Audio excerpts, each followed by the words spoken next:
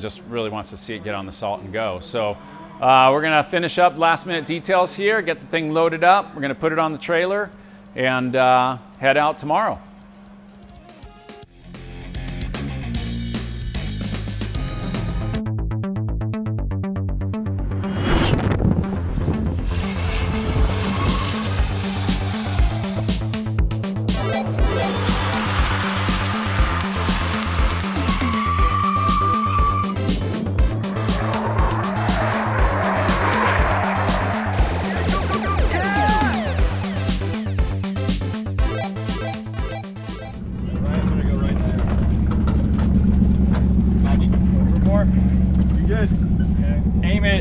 Aim it down the course.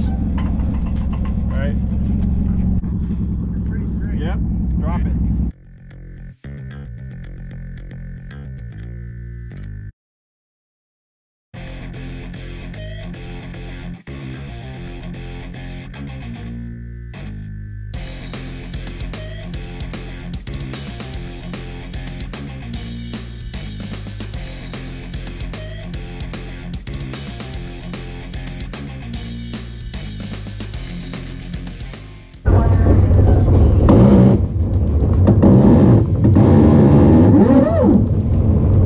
All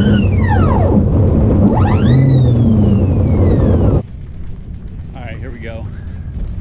It's Thursday. We're gonna go for our second shakedown after losing the belt. We uh, had a lot of work to do to get the new belt on and fix a misalignment issue. It actually caused us to lose the belt. And uh, here we are in line, ready to go again.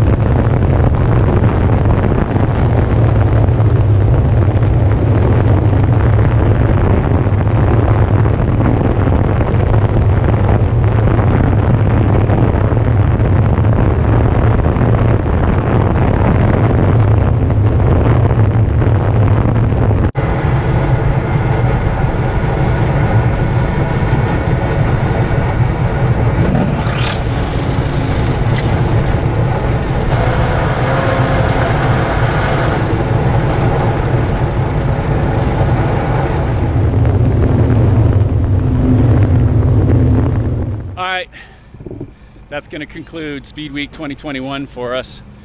Lost another dry belt, and uh, yeah, it's just you know on this car it was really small, really tight, and, and uh, all of our hardware, every inch, every square inch was spoken for, and we put together a system where the packaging was really tight, and uh, we were right up against the limit of what we knew the system could do, and apparently we just didn't have enough uh, tolerance in there, enough enough leeway for the power that we were producing. So we have some good ideas. We just had a really nice meeting with the crew. We got uh, some solid fixes to do to the car when we get back to town. Get back to the shop. Looks like we're going to come back out for probably uh, World Finals or Nationals, one of those two. But we're definitely coming back. The car was running real good. Jim, our driver, was real happy with the handling handling real good. And uh, at this point, we just need to figure out a way to contain all that electric torque, man. What a hoot. What a hoot. 300 mile an hour. Here we come, dude. We're coming for you. We're coming.